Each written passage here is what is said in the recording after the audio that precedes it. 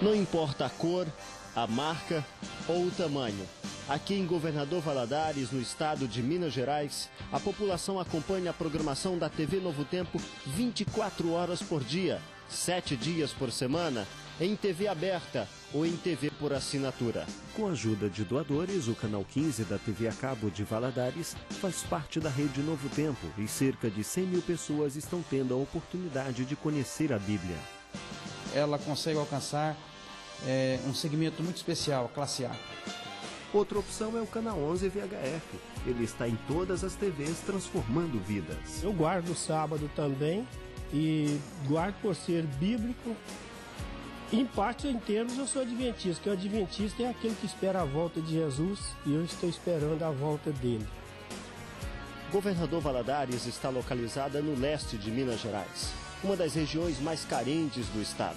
Dos 260 mil habitantes, 45%, quase a metade da população, é evangélica. Se eu não tivesse, se eu não tivesse ligado à televisão, não tivesse ouvido a voz do pastor naquele dia, mudou tudo. Fortaleceu bem o meu espírito em questões emocionais, mudou completamente. Além da televisão, a Rede Novo Tempo conta com uma potente emissora de rádio. A torre é a mais alta do interior do estado e o sinal vai longe. A uma hora de Valadares, cinco pessoas foram alcançadas pelas ondas da voz da esperança. E é para lá que vamos.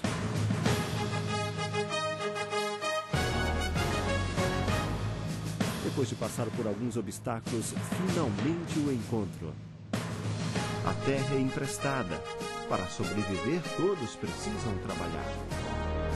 O sorriso de Aparecida é resultado da semente do Evangelho plantada com atenção e afeto. A salvação entrou nessa casa através do rádio. Dona Aparecida conta que vive sintonizada na palavra até de madrugada. Perguntei pelo rádio e ela, um pouco tímida, levou a nossa equipe até o quarto.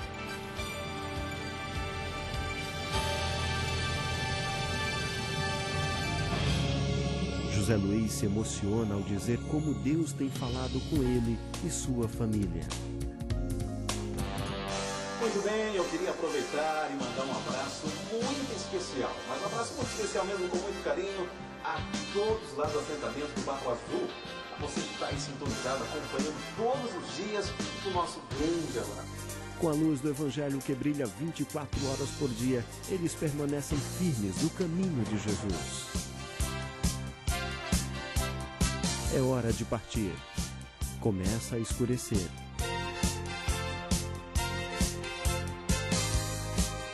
A saudade é grande.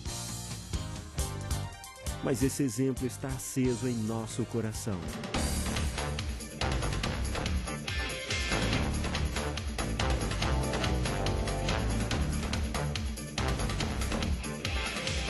A história de comunicação em Governador Valadares tem influenciado diversas pessoas. Um exemplo está aqui em Ubatuba, litoral norte do estado de São Paulo. Aldinei Fonseca é um pescador de homens. Através dele, aqui nesta cidade, a população tem a rádio e a TV Novo Tempo.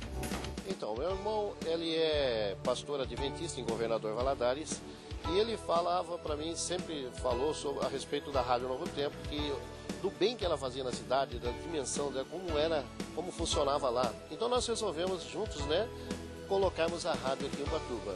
E isso fazem já cinco anos. A minha mãe, por exemplo, ela não consegue dormir sem a rádio estar ligada. E quando eu venho ficar na casa dos meus filhos, eles já providenciam o rádio e já põem do meu lado. Porque eles sabem que eu não durmo sem a Rádio Novo Tempo. Não só eu, como muitos irmãos também é, do, é, o mesmo costume. Hoje a gente tem, pode ligar rádio, pode ter, ligar a TV, que nós temos a mensagem 24 horas por dia.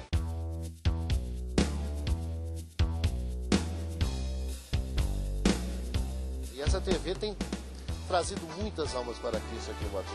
E ele, como advogado da CAIBI, da TV a cabo de Ubatuba, e vendo a programação adventista, ele procurou uma igreja adventista para guardar junto com os irmãos no sábado. Eu quero parabenizar a, Rádio a TV Novo Tempo, a Rádio Novo Tempo e a internet também, que tem me ajudado bastante. Realmente a comunicação não tem limite. Ela trabalhava aqui na cidade, eu tinha uma papelaria no centro da cidade, muitas vezes ela ia lá. Então ela falava sobre a Rádio Novo Tempo, né? Que ela escutava também sem parar. Quando ela vinha trabalhar, algum dia assim que ela esquecia o rádio desligado, o papagaio ficava muito alvoroçado. Ele não ficava sem a rádio de maneira alguma. E quando ela esquecia, ainda ela falava para mim, tem que correr lá em casa ligar o rádio. Senão hoje é dia que ele faz um barulhão e os vizinhos vão reclamar. E ele gritava mesmo querendo escutar a Rádio Novo Tempo.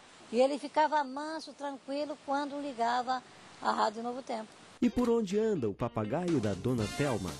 Se tiver lá na cidade para onde ela foi, uma Rádio Novo Tempo, ele não vai ficar tão triste. Mas se não tiver, ele deve estar muito triste. Novo